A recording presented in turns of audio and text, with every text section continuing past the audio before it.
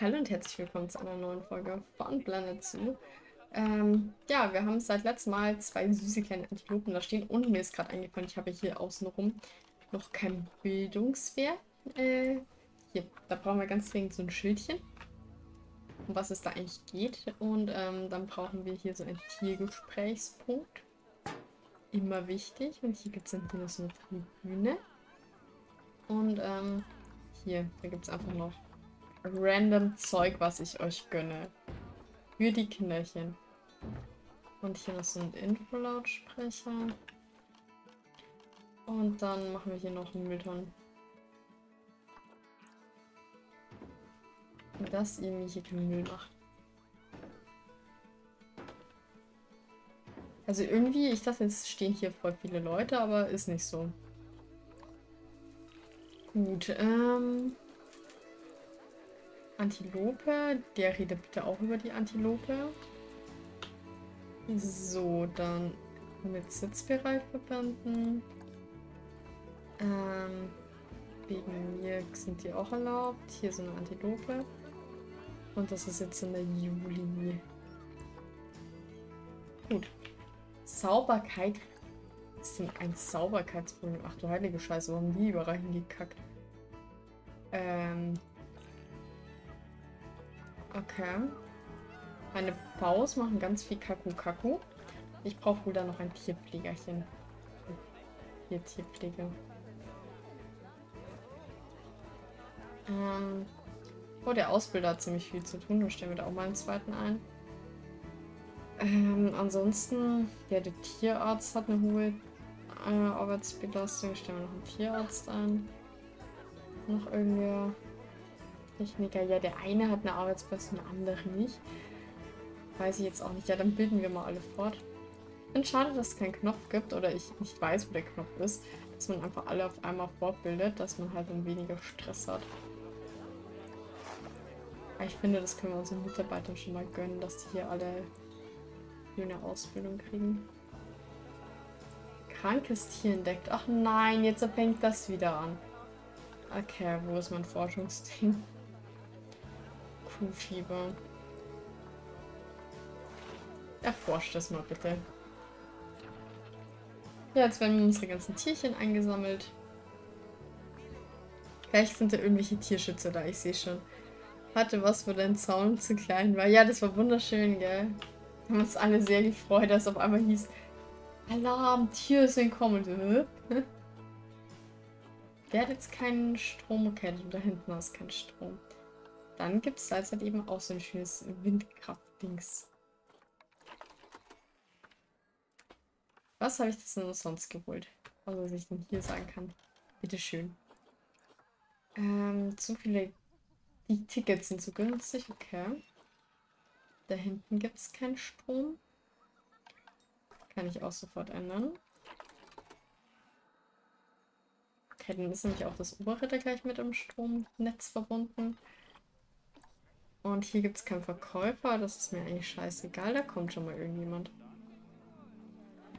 Okay, und die Tickets sind wohl zu günstig. Also wenn das eure größte Sorge ist, dann machen wir mal 10 und ein Kind kostet dann 6. 7. Das soll man sich ja nicht beschweren. Ich bin froh, dass es nichts kostet. Ich kann es kaum erwarten, die Gespräche anzusehen. Okay, warum ist man dann so... Jetzt so wirkt ziemlich klein. Ich habe Durst. Ja, okay, das mit Durst kann ich jetzt noch irgendwie verstehen, wenn der Laden jetzt zu lang zu hatte, aber das sollte jetzt auch besser werden. Beziehungsweise ich kann ja mal auf diesen Radar schauen, wo die Leute den Durst haben. Tierwohlbefinden ist doch super, oder? Gehege, Temperatur, ja. Mit stark negativen Effekt, okay. Home hat ja fast alles. Ähm, das hat einen negativen Effekt. Und Imbissladen hat bestimmt keinen negativen Effekt. Okay, das da hat einen negativen Effekt auf Gäste, aber ich musste das da hinstellen. Ähm, Gastbildungsabdeckung. Zufriedenheit. Durst. Okay, die Leute, wo da stehen und die da hinten, sollten doch eigentlich was versorgt sein, oder? Ich meine, das da ist doch super eigentlich, weil das ist ja... Ich kann deswegen hier verschönern. Das kann ich machen. Ich kann da hier so Blümchen außenrum stellen. Vielleicht ist dann glücklicher. Wir verschönern jetzt das Windkraftwerk, indem wir da Blumen reinbauen. Wir stecken das jetzt einfach. Wir bauen jetzt einfach einen Turm aus Blumen. Und fällt es kein mehr auf, dass da was Böses steht. Was Strom schafft. Was denken die, wie Tiere an Strom kommen? Also wie die Tiere da versorgt werden? Gar nicht. Ich finde, mein Bauwerk ist wunderschön. Ich denke, die Leute werden es nicht mehr erkennen können. Und der Techniker wird es nicht mehr reparieren können. Wie sind so viele Pflanzen in ihr Windrad gekommen? Da sieht man noch was. Also ich finde, das ist jetzt ein wunderschönes Gebäude. Das ist jetzt ein individueller Baum, Leute, der sich irgendwie dreht. Hier ist es ja unglaublich. Hier macht sich niemand Mühe, die Mitarbeiter. Ich habe das Ding super gut verborgen. Also ganz ehrlich, was soll man denn das sagen? Der hat jetzt einen Verkäufer, oder? Da ist ein Mensch drin. Kein Verkäufer. Okay, wir stellen uns mal noch einen Verkäufer an. Weiß ich nicht. So. So, falls irgendjemand anderes noch Ablösung braucht. Okay. Ich hoffe, die Leute sind glücklich, wenn sie da vorbeigehen. Ich glaube nicht, dass sie glücklich sind, wenn die da vorbeigehen.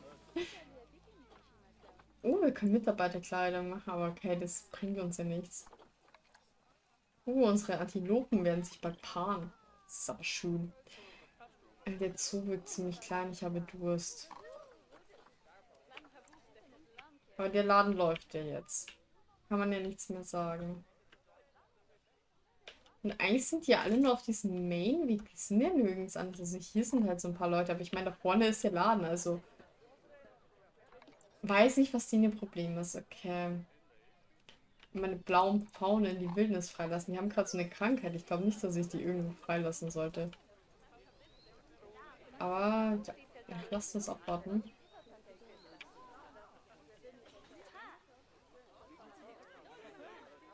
Voll gepfuscht. Ich habe meine Mitarbeitereinrichtung verschönert. Niemand erahnt, dass das da ein Windkraftwerk sein soll. Schaut mal, wie schön das ist, wie es sich innerhalb der Blumen dreht. So. Ähm. Was machen wir denn als nächstes? Okay, was haben die hier vorne? Ja, okay, da steht halt auch die Hölle immer an. Ich kann dann noch so Verkaufsautomaten für Getränke hier hinstellen. Aber ganz echt, in so einem Verkaufsautomat kann man eigentlich nichts sagen, wenn da so, wenn sich da mal was zu trinken holen kann. Hinten stehen noch relativ viele Menschen. Okay, da hinten ist da nichts. Okay. Schauen wir, ob das unser Durstproblem löst. Und wenn es wirklich unser Durstproblem löst, dann machen wir dasselbe mit den Essen. Dann gibt es hier halt auch noch ein paar Essensstände. Ein paar Automaten. Ey, cool, irgendwas ist abgeschlossen. Ist das vielleicht die Krankheit, die wir da irgendwie haben? Nee, ist über Stange. Stresst euch nicht mit der Krankheit. Ich bin mir sicher, die ist harmlos. Hier kann ich noch ein paar Leute ausbilden. Ist ja wichtig, dass man gebildete Mitarbeiter hat. Wie sieht es aus mit der Arbeitslast? Also von manchen, okay, Ausbilder haben viel zu tun, Tierpfleger und Tierärzte. Also ein paar Zoopfleger noch ein, drei Stück. Tierpfleger drei Stück. Die Lohnkosten werden in die Höhe schnellen. Techniker machen wir auch mal einen. Also Sicherheitsbeauftragte brauchen wir bestimmt keinen. Dann machen wir noch zwei Ausbilder. Machen noch zwei Tierärzte, weil ich glaube, die haben gerade eben das größte Problem, weil die ganzen Tiere krank sind. Äh, kann ich noch jemanden ausbilden?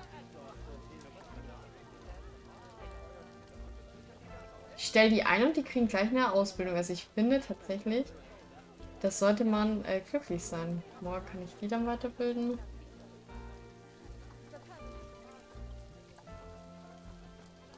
Es kommt ja nicht mal irgendwie so eine Aufgabe, so nach dem Motto, hey, schau mal, dass es den Leuten gut geht, sondern einfach nur so, ja, hier lass mal ein paar Leute frei. Wie sieht es eigentlich aus mit dem Preis? Ich hätte den Ski mitnehmen sollen. Also das ist jetzt wirklich der Preis für die Tickets ist gut. Oh toll, Regen. Ach ja. Das hat keinen Strom. Oh. Aber wenn ich euch da jetzt wieder so ein scheiß Windding hinstelle, ist gleich wieder jeder angepisst. Außer ich. Kann ich das verrutschen? Bewegen. Das hilft nicht viel, wenn ich das verrutsche. Artenerhaltungsfreundlich, ja, glaube ich gleich. Die Leute mögen es trotzdem nicht. Ja gut, dann verkleide ich halt mal wieder so eine Windanlage.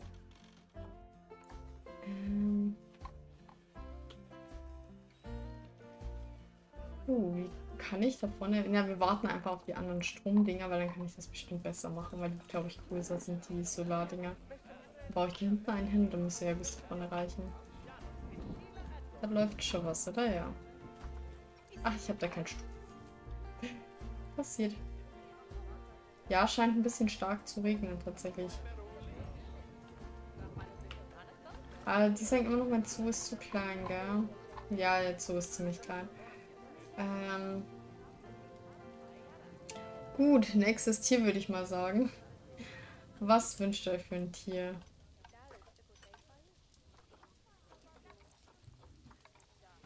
Was haben die Mitarbeiter?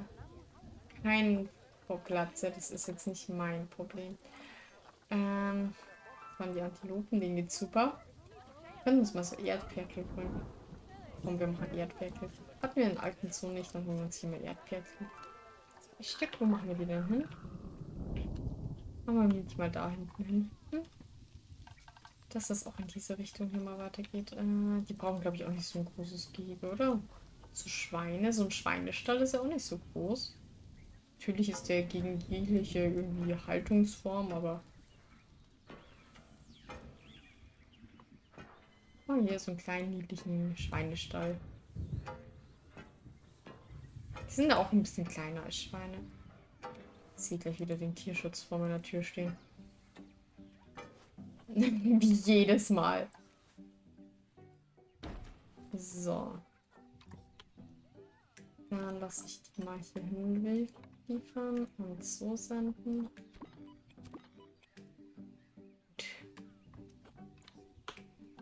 Die kommen dann wahrscheinlich gleich. Machen wir mal hier so einen Weg rum, dass wir dann hier... Okay, das ist scheiße. So können wir jetzt ein bisschen...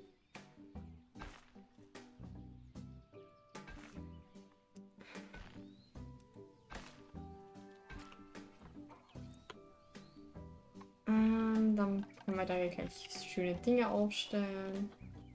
Wie zum Beispiel ein Tiergesprächspunkt. Hm. Ähm, dann so eine scheiß Infotafel, dass jeder sich freut. Sagt so, oh, das ist aber ein schönes kleines Schweinchen. Habe ich die nicht hier hingeschickt? Halten die denn? Ähm, Mülleimer sind wichtig.